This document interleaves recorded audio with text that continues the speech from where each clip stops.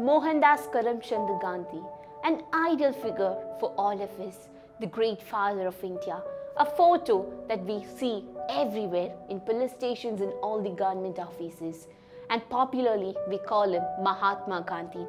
But do you know who gave him this title of Mahatma? It was the Subhash Chandra Bose who gave him the title as Mahatma Gandhi, the father of India. For more details, download Dream Them app.